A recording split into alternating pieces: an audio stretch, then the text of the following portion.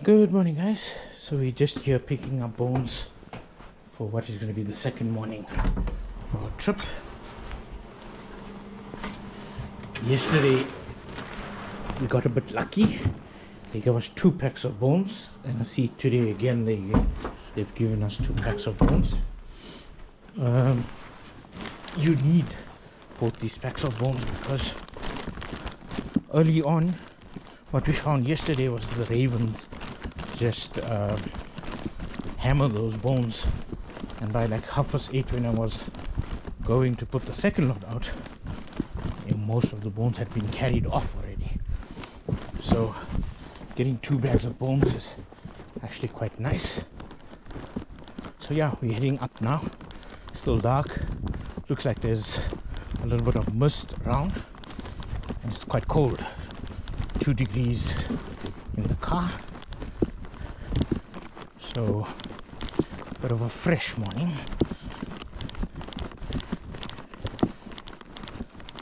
But hopefully the mist adds you know some nice moodiness to some of the shots. And we get up in time to get some good shots.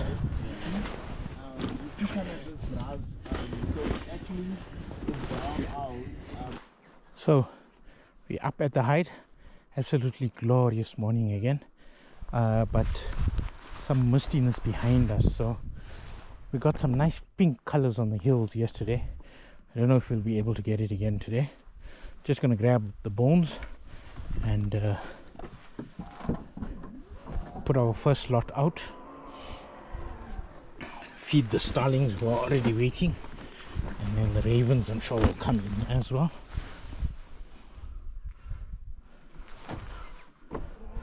so we have parked the car on the top. Doesn't seem to bother the vultures too much. They still fly by and stuff but uh, we didn't have any of the bearded vultures landing.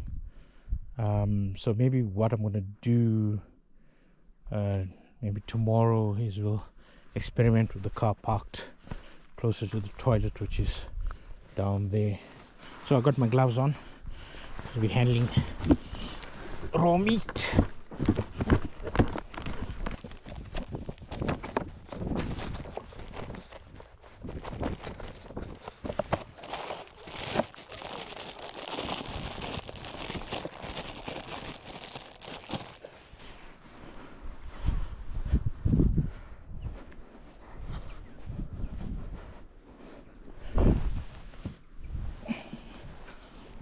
Hey, brah, that's not for you.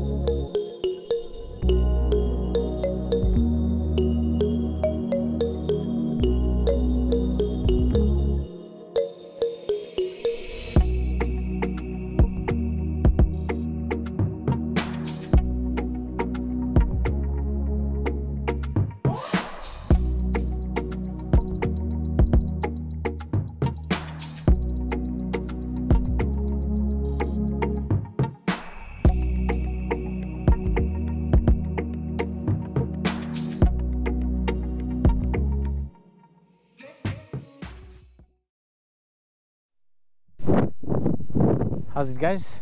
Um, so it's just gone about half past 11 the winds got up again so we having some flybys but uh, you know they, we didn't have any bearded vulture land today. Uh, the jackal buzzard came in and was here literally less than 30 seconds and was gone again. So he landed checked out a piece of meat and was gone. And then uh, the cape vultures flew past but uh, no landings today so um, no landings on the cape vulture. Um, but um, mm, otherwise a productive morning again a bit quieter than the first day. Uh, we got uh, maybe uh, about one 1000 shots instead of the 2000 we got yesterday. But uh, you know still good nonetheless. A little bit later on the uh, start of the action today. We had some nice uh, shots in the pink light yesterday, and then uh, you know today uh, the vultures got up a bit later, I think. Um, so now we're going to make our way back down to uh, camp, and then maybe later we'll do some astro if the skies remain clear, and then we'll get some chance to do some astro. Uh, maybe we'll try a protea setup, but let's see how it goes. Hey guys, how's it going? So um, it's the afternoon of the second day. Um, we're gonna take a walk down and try get, to get to the river uh, later and maybe do some location scouting. Uh, I think if we get down um, along the path, we saw some people doing some overnight hikes yesterday, um, but just sort of in that direction, there's a couple benches that look like they'll make for a good foreground for some astro later tonight. And the Milky Way or the tail end of the Milky Way um, falls directly above, above those, um, you know, the, the mountains and um, you can almost use the valley to frame the tail end of the Milky Way. Um, so uh, we're going to just uh, take a walk down and scout, you know, how far it is to get there and then um, also we'll you know check if it's uh, safe and, and all of that to shoot um, so that um, later in the evening maybe you know after supper after we've done with supper we get out there and we take a few astro shots. Um, I've got my torch and PJ's got his light uh, headlamp so then you know we can walk safely. Um, and yeah maybe get some some good astro.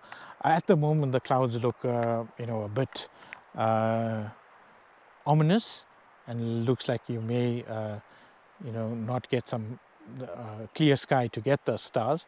But uh, PJ's uh, checked um, a weather app just to see how much cloud cover is later on. And by 8 o'clock we should get um, about um, 1% cloud cover. So hopefully, you know, we've got clear skies and we can find a couple compositions that work. And uh, yeah, then we'll add um, some of the astro um, to this video as well. And maybe I can start adding um, astro uh, in the winter as part of the Giant's Castle package that then gives uh, a little bit uh, more variety on the trips as well. So yeah, let's see how it goes. And uh, if it does go well, I'll post the results to the video.